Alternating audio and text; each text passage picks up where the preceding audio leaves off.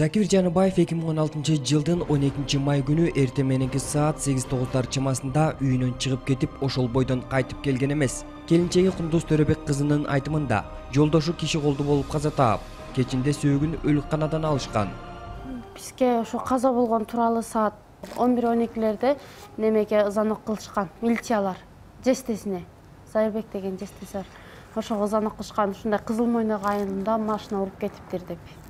Ошо менен эмеге ак суу районунун моргуна алып кеткен. Бияктан экспертиза болуп ошо машина уруп кетти деген жыйынтык чыккан. Кундуз төрөбек кызы тергөө иштеринин адилеттүү жүрүшүнө ишенбейт. Анткени ал жолдошунун өлүмүнө күнөөлүү деп каралап жаткан адамдар эркиндикте жүрүшөрүн айтат. Аны кошуп кеткен балдар дүйшөев мыктыбек рахманов талант деген эки бала кошуп кеткен булар ошо кечкери саат алтыга чейин чогуу жүрүшкөн ошо эртең мененки саат кечки алтыга чейин. Кечки алтыдан кийин эле бизден бөлүнүп кеткенде ошо актанып чыгууда азыркы моментте анан бул мен ал андай неме актанууга мен ишенбеймин. Бул кошулуп баргандан кийин ошого өлөрүнө саат эки саат калганда эле бөлүнүп кеткен. Бул бөлүнгөн эмес деп ойлоймун.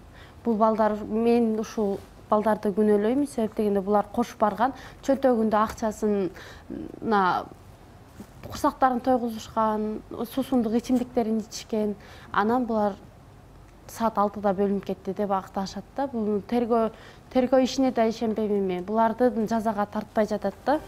Ал эми маркум закир жаныбаевдин жеңеси айчүрөк жоошбаева кайным киши колдуу болуп же кырсыктан каза болгон күндө дагы күнөөлүүлөр табылыш керек болчу дейт айтымында кайнисинин өлүмүнө күнөөлүү делип кербен жалал абад каттамындагы маршруттук таксинин айдоочусу да кармалып бирок ал боштондукка чыгып кеткен.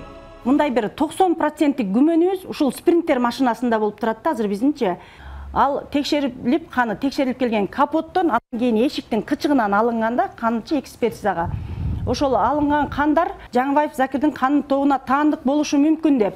Ушинткенден кийин деле ал спринтер чыгарылып кеткен э, шоферу эч кандай жоопко тартылган эмес камалган дагы эмес да тергөөчүлөрдүн начальнигинен сурадык субанкулов жуманалыга кирип э, бул спринтер боюнча бизге маалымат берип коесузбу эмне болгон спринтер э, ал спринтердин ээси ким экени деп сурасак ал спринтерди эмне жөн эле кармап алдыңарбы жолдо бараткан жерден эле акыры бир признактары барынан кармадыңар да деп суроо бердик да десек эми ал спринтердин эч жерде эле кыйшаган эмес эч жерде эле урунган эмес. Ал чиркейдин каны болушу мүмкүн деди. Кантип эле ошо адамдын каны? Чиркейдин каны менен адамдын канын биздин эксперттер э, айырмалай албайбы? Десем ооба признагы барынан кармаганбыз деген жооп алдык анан э, ошентип бир алгылыктуу жооп ала албай биз келе бердик да. Бирөөлөрдөн баягы элдин арасынан сураштырууларыбыз боюнча бул онунчу күнү түндө түнкү саат бирде ошко алып барып ошол жактан машинаны ремонт кылып оңдоп келиптир деген маалыматтарды уктук да. Тергөө иши жабылды уже. Убактылуу деп жапты. Бирок убактылуу жапкан менен эми ал тергелиши күмөн да.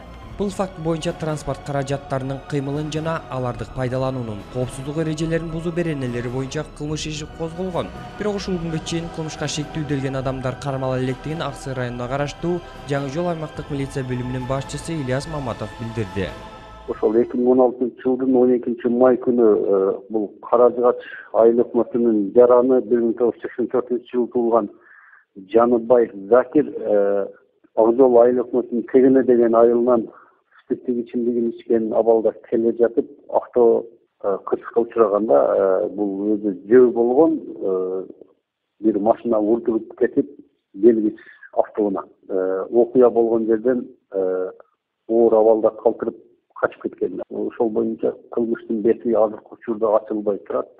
Шектүүлөр бар бирок шектүүлөр бар бирок иш токтоп турат э жок токтотулган эмес. Тергөө иштери токтотулса бирок иликтөө иштери жүргүзүлүп атат. Ошол болгон маалымат бизде